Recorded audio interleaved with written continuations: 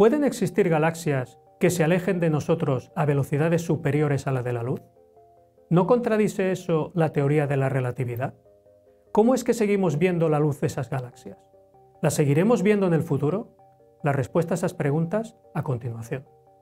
En nuestro universo podemos considerar que con mucha aproximación existe una distribución homogénea de galaxias. La relatividad general establece que en una distribución de materia-energía de este tipo se producirá una creación de más y más espacio entre las galaxias que hará que todas se alejen entre sí. Este fenómeno sucede incluso si el espacio está vacío, y es lo que se denomina expansión del universo. Y lo que se expande es el espacio que separa las galaxias, no las mismas galaxias cuyo tamaño no está afectado por la expansión.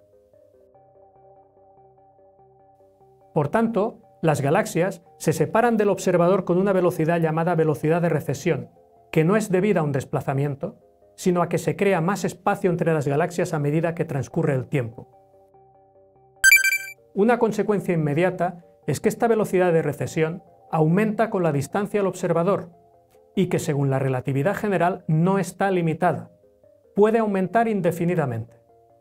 Por el contrario, la velocidad de un objeto material, debido a un verdadero desplazamiento en el espacio, no puede alcanzar y menos superar la velocidad de la luz. Como esta velocidad de recesión aumenta con la distancia y no está limitada, las galaxias más distantes se podrían alejar de nosotros a velocidades superiores a la de la luz. Sin embargo, los fotones que emiten las galaxias se mueven siempre a una velocidad constante. Entonces, ¿seguiremos viendo esas galaxias? Si la expansión se va frenando, siempre terminaremos viendo la luz emitida por todos los objetos del universo. Pero las observaciones de supernovas indican que la expansión se acelera con el tiempo, es cada vez más rápida.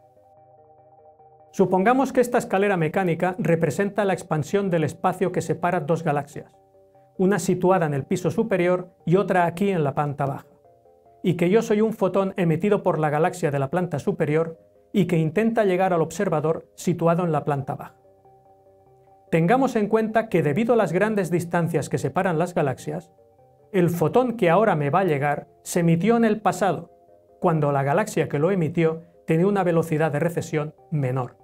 Como la expansión aumenta con el tiempo pero también con la distancia, si el fotón emitido en el pasado se encuentra ahora suficientemente cerca, llegará al observador aunque en este momento la velocidad de recesión de la galaxia sea superior a la de la luz. Pero si el fotón está demasiado alejado, al aumentar la expansión con el tiempo, además de con la distancia, es posible que ese fotón no llegue al observador, porque se va creando más espacio entre el observador y el fotón más rápidamente de lo que éste se acerca a velocidad constante al observador. Esto permite establecer para cada observador una superficie imaginaria llamada horizonte de sucesos.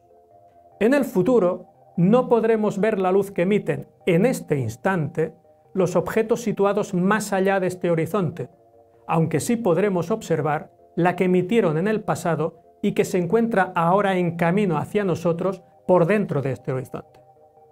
En resumen, según la relatividad general existe una expansión del espacio que separa las galaxias, y la velocidad de recesión resultante no está limitada por la velocidad de la luz. Ritmo de expansión. Si es acelerada, existirá un horizonte más allá del cual no podremos ver objetos en el futuro.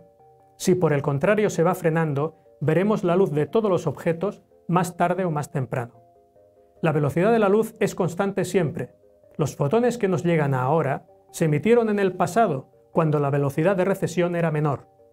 Podemos ver ahora la luz de objetos que en este instante tienen velocidades de recesión mayores que la de la luz, y que en el futuro no podremos ver.